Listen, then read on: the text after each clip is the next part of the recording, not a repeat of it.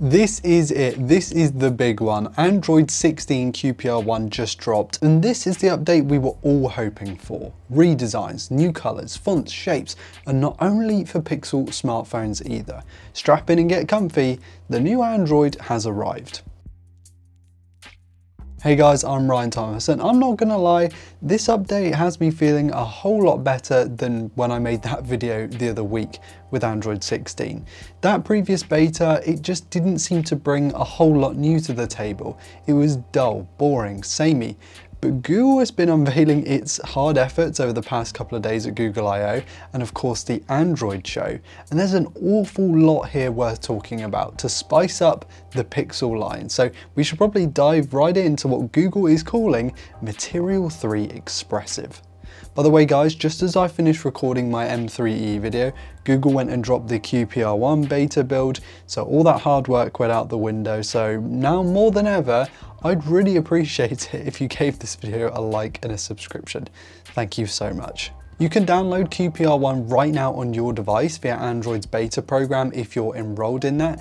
It will just reboot your phone with the update, I believe it was around 3 gigabytes if I remember correctly, and boom, you are now experiencing the whole new Android Pixel experience. The theme of this design really is to make Android feel alive and more dynamic, with more personalization and customization being the top priorities here. It's moving away from the harsh and cold business side to a bubbly and friendly playful side with bold new fonts, colours, shapes and even callbacks to features we saw in earlier betas that have started to make a little bit more sense now chief among which are the live notifications which can essentially display tracking information via a progress bar for whatever app you've associated it with. For instance, if you're in line to buy a ticket or you've ordered a food delivery, instead of having to enter the app and then refresh and check the information, It'll all be here at a glance. The Easter egg actually for Android this time around does demonstrate this if you want to try it out for yourself. As for the actual design though, QPR1 and Material 3 Expressive make your phone feel more alive. They are smoother with the animations. There's a physics system built into them, so you get sort of a sticky or a bouncy element. Nowhere really shows this off quite like the quick settings and notification shade, which has been completely transformed.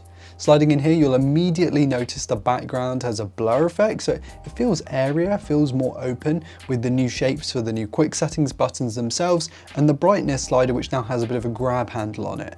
There's a new font here as well, or at least one that I think is a little higher in the weight, which helps it feel friendlier and definitely more modern. When you grab notifications, they sort of stick and move with haptic feedback that helps you feel what the phone is actually doing. And I'm a big fan of the big clear all button at the bottom of the screen as well.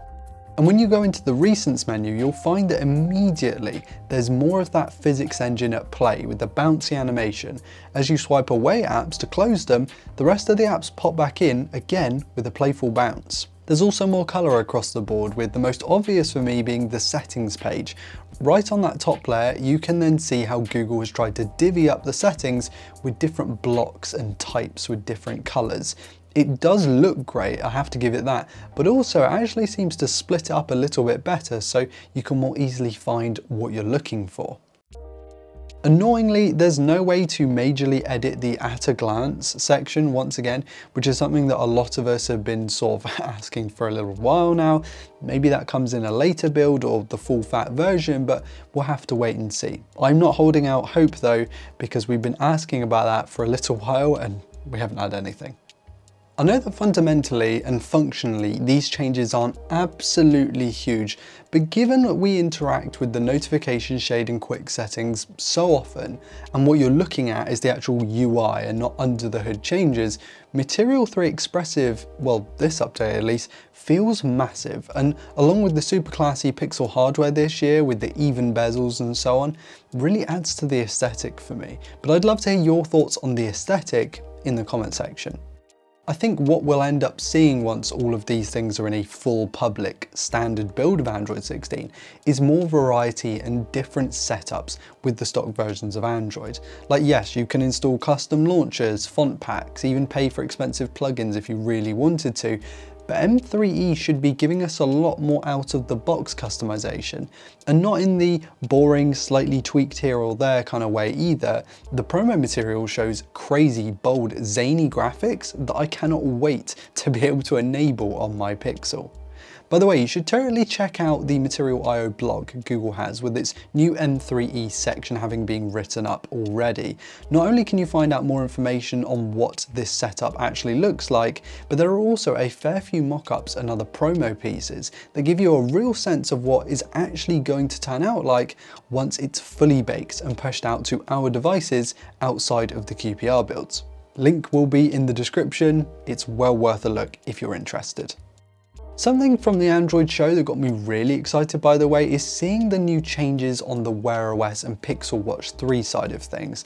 Like the idea here is to make the interface more circular and bubbly to reflect the pebble-like shape of the Pixel Watch 3 hardware.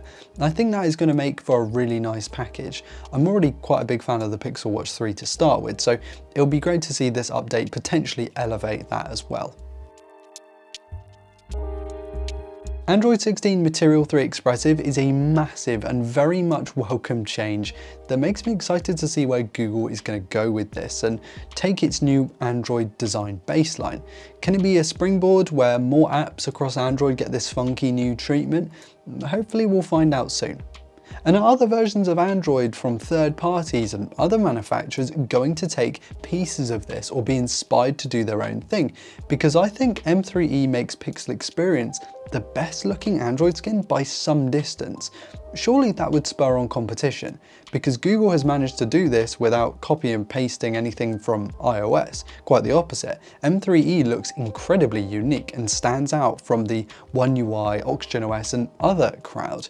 It also has character and personality and makes me excited for what the real potential could be for Android 16. Google is clearly changing how it delivers updates with different sections making up the total. One part under the hood and the second with more appreciable updates to the user facing side of the software. Perhaps with that second part delivered in time for the latest mainline Pixel smartphones each year.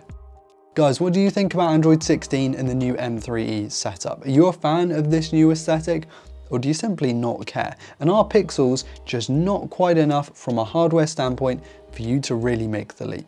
I'm not gonna lie, after loading QPR1 up on the 9 Pro XL, I'm very much tempted to switch over to a Pixel from my OnePlus because the software design here for me is absolutely phenomenal. I'd love to hear your thoughts on this in the comments. Am I just overreacting here? And whilst you're down there conversing, be sure to like if you enjoyed today's content and of course subscribe to never miss another upload on this channel.